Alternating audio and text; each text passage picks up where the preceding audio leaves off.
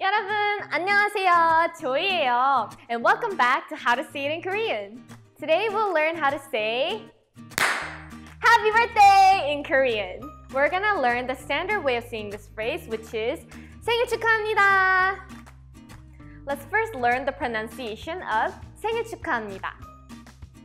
생일 축하합니다. 생일 축하합니다. 생일 축하합니다 is a phrase made of two words, 생일 and 축하합니다. 생일 is a noun that literally translates into birthday, and 축하합니다 is a verb that means congratulations to you. So together, 생일 축하합니다 translates into birthday congratulations. 생일 축하합니다. Now that you know how to say happy birthday in Korean, get out there and wish all your friends a very happy birthday.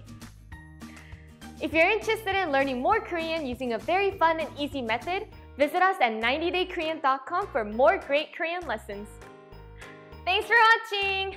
생일 축하합니다! Woo! 생일 축하합니다. 생일 축하합니다. 사랑하는 조